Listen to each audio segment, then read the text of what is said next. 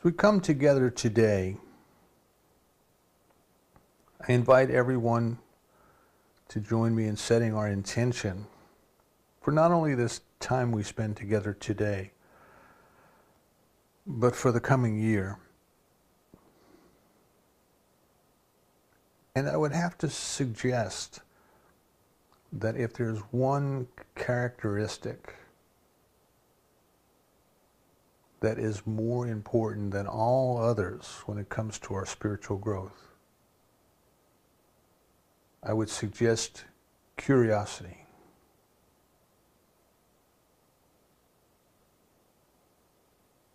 There's an ancient myth that it was the curiosity of human beings that would eventually assure their success in discovering the presence within.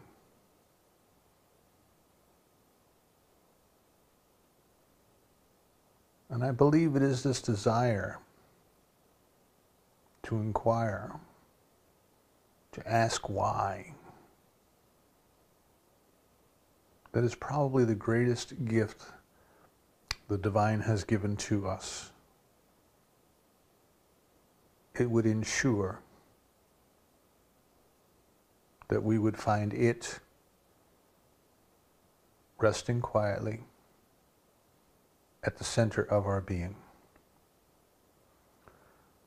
We recognize then that there is this thing in the universe, this something we call God, we call first cause, we call the essence, we call the nature, we call the power, we may call it mind, spirit. But whatever it is, it is there. It is that which is beyond thoughts, but from which thoughts come.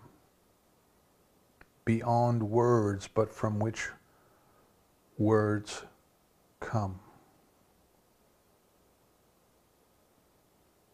Our curiosity, our desire to know, to ask why, keeps pushing us to look for it, to experience it to a greater degree.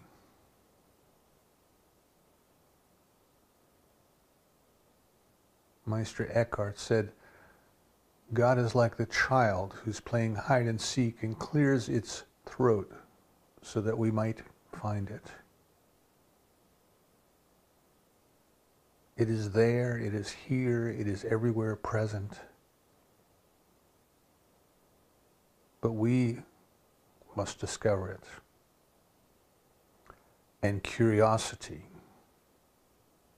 prods us on our way. The divine love has created us out of itself and left us alone to make that discovery, as this was necessary for us to express an individualized life.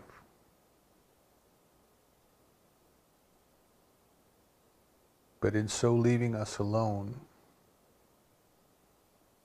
it didn't abandon us. It is all about. It has left clues and signs everywhere. And all we must do is be curious and ask and seek. Knock and the door shall be opened. Seek and ye shall find. So today we accept for ourselves and for each and every other person a stirring in curiosity that leads us on the path that is appropriate for us to discover the spiritual magnificence that is within. We have all we need. We use it. We are grateful to know there's a power in the universe that responds to us according to our belief. And this treatment is for the purpose of setting in motion that power to produce a greater opening in our consciousness.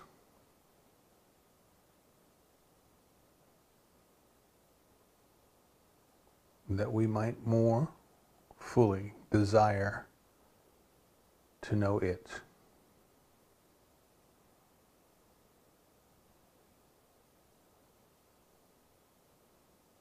Augustine says we would not have the desire to pray if God had not first put it in our heart.